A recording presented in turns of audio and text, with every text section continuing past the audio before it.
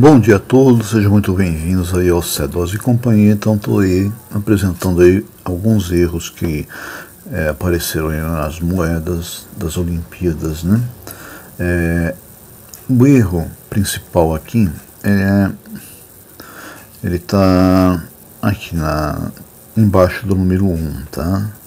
Vocês podem observar lá no, no número 1, nas duas moedas, observem bem nas duas moedas, existe no, o achurado ele não foi feito. Nesse aqui, nessa que nós chamamos de cara, né, é, os detalhes não apareceram. Não apareceu o rosto do jogador, não apareceu é, detalhe nenhum. E no jogador da esquerda também faltaram detalhes. Né?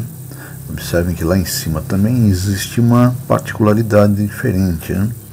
Existe uma cunhagem que não é igual a de cima. Né? O, o tipo de cunhagem que tem em, em cima depois da letra L não corresponde a essa aqui. Tá? É, observem ali ao lado esquerdo, né?